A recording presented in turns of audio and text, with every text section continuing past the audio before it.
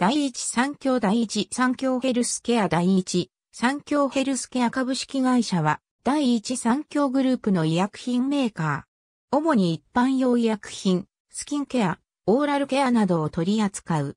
三共と第一製薬の一連の経営統合において、本体の統合に先立ち、2005年12月16日に両社のヘルスケア事業の統合を目的に設立。2006年4月1日に三共と第一製薬のヘルスケア事業を当社が継承し、同年4月3日に営業開始した。2006年4月13日に第一三共がゼファーマの株式を取得し、第一三共グループ内でヘルスケア部門の企業が並立する状態となった。ゼファーマは第一三共とほぼ同様の方法で山内製薬と藤沢薬品工業が統合し、2005年4月にアステラス製薬となった際、それに先立って2004年10月に両社のヘルスケア事業を統合して誕生した企業であったが、ゼファーマの親会社、アステラスが医療用医薬品事業に特化する方針を固めたことにより、第一三共に全株式を売却したものである。その後、2007年4月に第一三共の完全統合と同時に行われたグループ内の再編により、当社がゼファーマを吸収合併した。このため、現在は三共、第一製薬、藤沢薬品工業、山内製薬の4社が発売していた商品を扱っており、各社が主力としていたリゲイン、カロヤン、マキロンなど、従来各社が扱っていなかったカテゴリーが相互保管され、ラインナップが拡大。取扱品が多い同業他社と肩を並べる品揃えになった。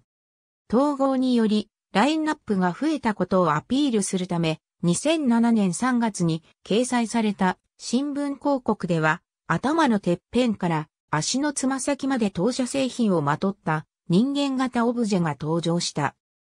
風邪薬領域においては、三強のブランドでラインナップが多い、ルル、第一製薬のブランドでの土関連品を主体とする、ペラク、藤沢薬品工業のブランドで持続性の製品を主体とする、プレコール、山之内製薬のブランドでカ根油製剤を主体とする、カコナールが、胃腸薬領域においては、現社名に合わせて2010年8月に、三強のブランドだった、新三強胃腸薬から製品名を変更した総合胃腸薬、第一三強胃腸薬や山之内製薬のブランドで H2 ブロッカー胃腸薬のガスター10があり、幅広い領域をカバーしている。統合後にはトランシーノ、トラフル、ロキソニン S など一般用医薬品での新たなブランドを投入している。ほか、山之内製薬のブランドである洗浄料、ミノンニスキンケアのサブライン、ミノンアミノモイストを立ち上げたり、藤沢薬品工業のブランドを引き継いだオーラルケア領域には口臭予防に特化したブレスラボを追加するなどスキンケアやオーラルケアのラインナップを拡大している。JAN コードのメーカーコードはキューゼファーマとの統合直後5種類存在していた。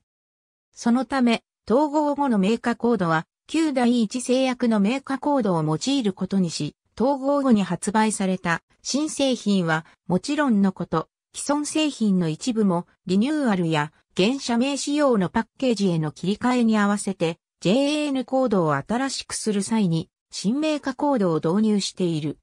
CM は第一三共ヘルスケアホームページにある CM ギャラリーで視聴可能である。かつてには旧三共とゼファーマと第一製薬がある。2021年4月現在星印、現社名変更後に出演ウィンダム及び、ウィンダムピンクは CM が話題となり、インパクトのある魅力的な CM で評判となった製品であるが、薬事法の改正で水虫薬では数少ない第一類医薬品に分類されたこともあり、2009年6月から放映された CM はキャラクターを起用せず、あえてシンプルでかつ誠意のある作品に差し替えられた。パテックスシリーズも多数の無名のタレントを起用して放映していた時期があった。アレルギールも旧三強時代にマスコットを使って CM していた時期があった。2021年現在、ありがとうございます。